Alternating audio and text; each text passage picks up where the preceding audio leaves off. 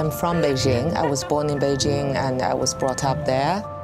You know, I studied English language and literature, and uh, I studied law, uh, thinking I would become a lawyer.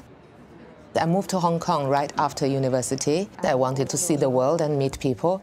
And a friend of mine said, Why don't you become a journalist? By chance, somebody introduced me to this magazine, so I became the editor. And then when Vogue finally came to China and wanted to launch Vogue in China, so they asked me. I think in some way you appreciate fashion, but you are not totally in fashion. Sometimes gives you a more clear perspective. Running a Vogue magazine is more than loving some dresses. We operate a big Vogue edition in China. We are one of the biggest in the world. Since I had a child, my daughter, then I, my view on modern women has changed slightly. I'm not going to have another one, so I, I want to spend every minute possible with her.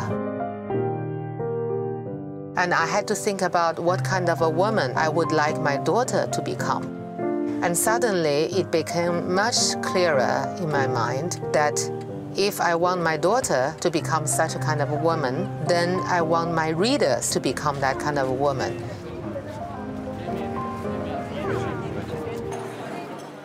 The clothes is a reflection of who you see yourself and how you want to live your life. At the moment, the Western fashion is so dominant that the local industry, the Chinese designers, uh, uh, they're struggling to find a space for themselves. In some way, I feel that at Vogue in China, we have the responsibility to help the Chinese uh, designers and artists and find that voice. In the 20s and the 30s in China, especially in big cities like Shanghai and Beijing, the women in China were wearing fashion as people in New York and Paris were. But then it stopped. And uh, people were not encouraged to wear anything nice. Our generation, when we grew up, we did not have nice things.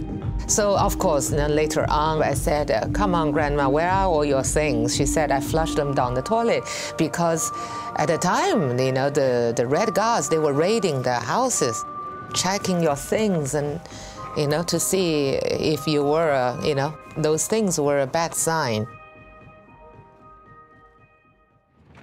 we are only a magazine but we do what we can to help create that voice out of china too so that it's not just me vogue talking. And i hope there are more people from china in the business who can have a voice and represent the country